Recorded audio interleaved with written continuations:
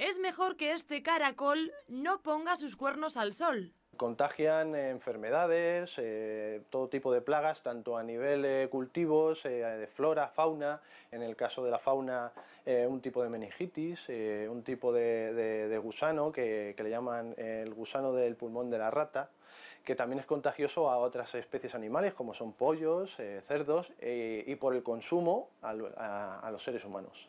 La alerta surgió en la provincia de Toledo.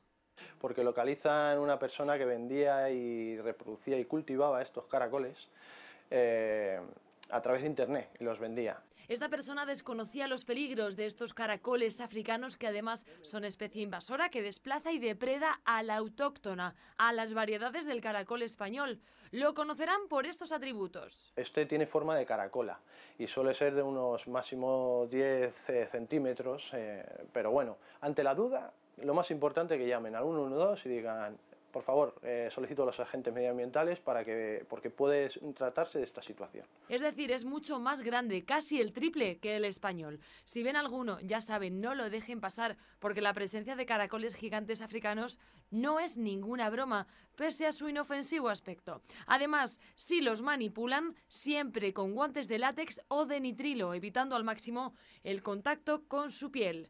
Son animales fichados por las autoridades del campo, los agentes medioambientales.